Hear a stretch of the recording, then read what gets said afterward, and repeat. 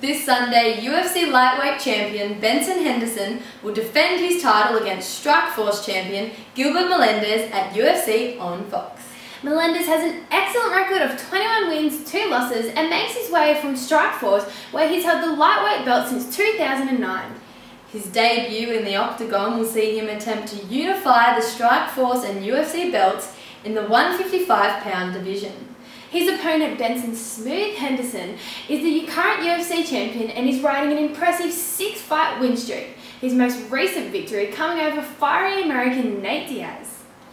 This should be Henderson's toughest title defence to date, but I'll still tip him to outwork the challenger Melendez and retain his UFC lightweight title via decision. I'm Ash. And I'm Erin. And be sure to check out Canvas Live and Fight Day and have, have your say on all things MMA.